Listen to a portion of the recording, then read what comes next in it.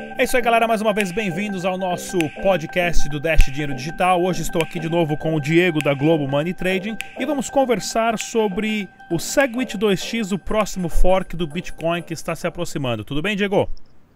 Tudo bem, Rodrigo? Tudo bem, pessoal? Vamos falar sobre esse assunto aí super delicado de novo. Mais um, um drama vindo para o Bitcoin. Vamos lá, então, em, em palavras rápidas, o que está acontecendo e qual que é a solução das pessoas que têm, que Bitcoin? O que, que elas podem esperar? É, vamos lá. A gente vai tentar não entrar muito na parte técnica disso, vamos falar só sobre as consequências mais palpáveis para o usuário do dia a dia. É, basicamente, o, tá planejado aí na rede, num, num bloco específico, vai ter mais uma divisão, né? O, uma parte dos mineradores está rodando um software que vai sair do consenso atual das regras atuais que o Bitcoin aceita. Então a gente acabou de ter o, o fork do Bitcoin Cash, que começou inicialmente agora com blocos de até 8 MB. A regra do Bitcoin Cash é essa, não é tão limitado quanto do, do Bitcoin normal, que tradicionalmente tem blocos de até 1 MB. E o que acontece é que uh, teve uma, uma separação entre as ideias das pessoas que apoiam e desenvolvem o Bitcoin e aí umas pessoas acham que o caminho para a evolução dele, para a escalabilidade, né, para ele poder atender mais gente no futuro, é um caminho, umas pessoas acharam que é outro caminho e o que a gente está vendo agora é justamente a divisão dessas ideias. Cada fork do Bitcoin está seguindo uma proposta diferente no futuro a capacidade da rede. E deixa eu te perguntar, uh, eu estou aqui com a página aberta aqui, uh, onde tem o Bitcoin, blockchain, que está explicando um pouquinho do halving também, a contagem uhum. de blocos uh, e uma informação um pouco mais técnica, mas muito dessa discussão, dessa briga se começou porque quem tem um grande interesse em não mudar eram os mineradores em massa por causa das, das taxas embutidas nessas transações. Como é que está essa discussão? Isso, inicialmente é, tem muita uma questão política muito forte também, né? O, o grande problema atual do Bitcoin é que nem todas as decisões estão sendo tomadas para o benefício da rede e da proposta de Bitcoin e da ideia de criar um novo dinheiro. Algumas uma parte dessas propostas também envolve uma decisão política, não política no sentido de política do país, mas política no sentido de tem politicagem por trás. A decisão acaba envolvendo outros interesses. É, tem interesse em que as taxas sejam mais altas, mas eles também têm interesse em ter mais domínio sobre a rede, né? em tomar as decisões da rede, que atualmente eles não conseguem. Então, além deles quererem, é, em certa parte, travar um pouco essa futura escalabilidade, né? os mineradores foram super contra o SegWit, ele está o pessoal sinalizar apoio ao SegWit não aconteceu, acabou agora ativando meio que de forma forçada, né? O pessoal deu uma forçada de barra e aí conseguiu forçar os mineradores a irem para isso, que eles iam acabar perdendo dinheiro se não fizessem, então eles não tiveram escolha. É, mas os, os mineradores não só não queriam que o SegWit fosse ativado, porque ele vai proporcionar transações fora da rede Bitcoin principal, que eles chamam de sidechain, a gente vai ter transações que não vão ser lançadas na blockchain, mas que vão ter a mesma segurança e tudo mais, mas que vão contar com opções de uma velocidade muito maior, taxas muito menores. A gente vai poder desenvolver novos recursos em cima do Bitcoin com essas sidechains, e o SegWit proporciona isso. É, o SegWit não é isso, mas é a alteração no Bitcoin que proporciona isso. E os mineradores não só não queriam essa ativação, como queriam ter mais poder, porque você pode ver que dessa vez eles foram compelidos, foram forçados a ativar o SegWit contra a vontade deles. Então eles não têm um poder muito grande na rede Bitcoin atualmente. E aí esses forks também fazem com que o, a, o, poder de decisão mude de mãos, né? No caso do Bitcoin Cash, o desenvolvimento já foi para outras mãos, foi para via BTC. É, no caso do SegWit 2x, também está indo para a galera do Acordo de Nova York, que eles chamam, que é um conjunto de, de signatários de um acordo que fizeram entre diversas mineradoras, é, diversos desenvolvedores de software, e que desenvolvem inclusive software de carteira, não é, é totalmente homogêneo, não foram todos que apoiaram, mas uma grande parte assinou esse acordo e o, o desenvolvimento dessa versão do Bitcoin vai para um novo grupo de desenvolvedores.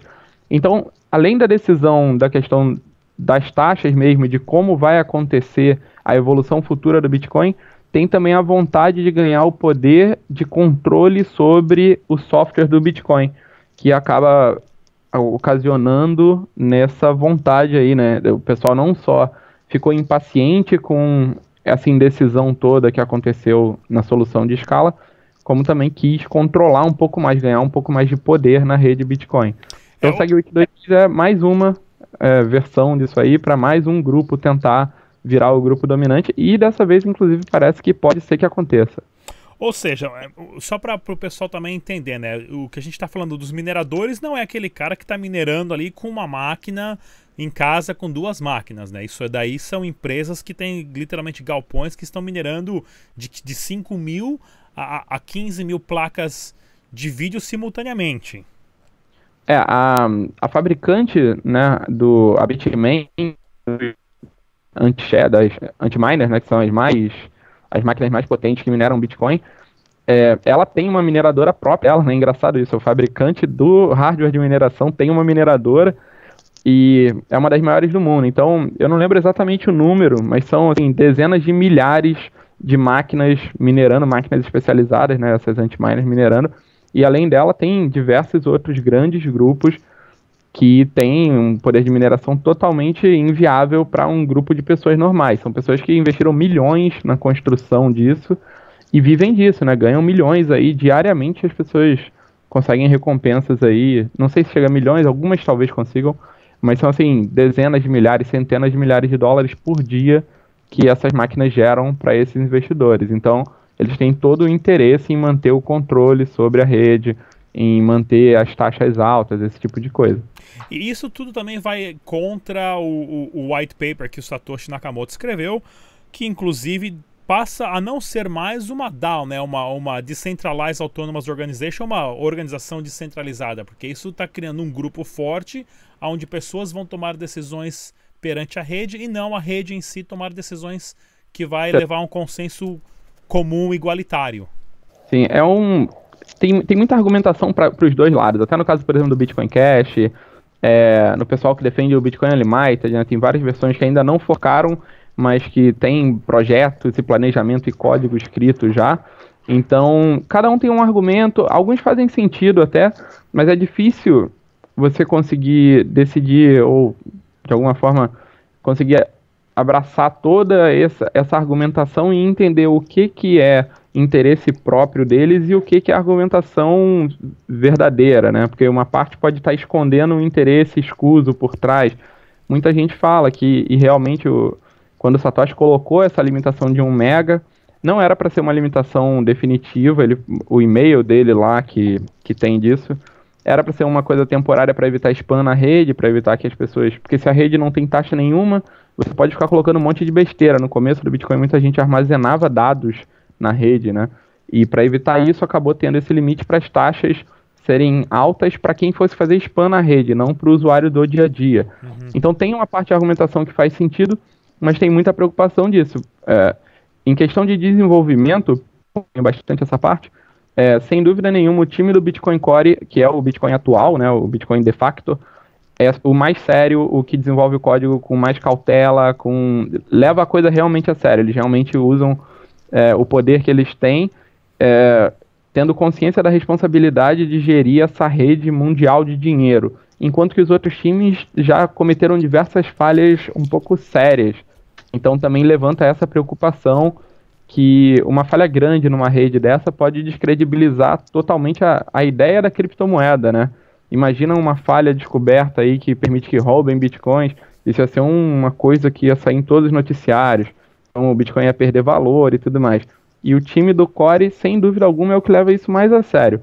Então também tem que se levar isso em conta. A questão com esse próximo fork, e é o porquê ele é relevante, é que parece que a maior parte do poder de mineração está apoiando esse fork. Então ele vai acabar virando aí a rede mais forte, entre aspas, caso realmente aconteça. Ele está planejado para três meses depois da ativação do SegWit, né? São, na verdade, é 90 grupos de 144 blocos. Então é mais ou menos 90 dias, um pouquinho mais do que isso. É, ou um pouquinho menos. Então. Vamos lá, vamos, vamos falar de umas datas aqui então. Quando que. O que está acontecendo essa semana aqui agora, que é o dia 23 de agosto que está para acontecer, e quando que vai ser essa próxima possibilidade do fork? Isso. Inicialmente agora, nessa semana, dia 23, e é bem provável que realmente fique. Né, nesse momento que a gente está gravando aqui, Faltam 301 blocos para isso acontecer, então é, seriam 3 mil minutos, mais ou menos, 300 blocos agora. Então está planejado para o dia 23 de agosto, aqui no Brasil, mais ou menos pelas 9 da manhã. Deve atrasar um pouquinho, porque na verdade, como é por bloco, você não tem um horário exato, mas tem uma previsão que é mais ou menos a cada 10 minutos um bloco. Então a previsão é de cerca de 9, meia, 10 da manhã, deve atrasar mais um pouquinho, deve ser lá para as 10 e meia, 11 da manhã do dia 23 de agosto, vai ativar o SegWit, que é essa modificação que permite que a rede é, ganhe novos recursos, né? Dentre elas a tal da Lightning Network tão falada aí, que vai permitir que você tenha transações instantâneas muito mais baratas e tudo mais. É uma coisa que vai exigir muito desenvolvimento, ainda vai levar um tempo até ser ativada, então não vai acontecer agora, mas o SegWit também vai permitir que tenham mais transações nos blocos. O bloco não aumenta, mas ele vai permitir uma mudança no formato de transação.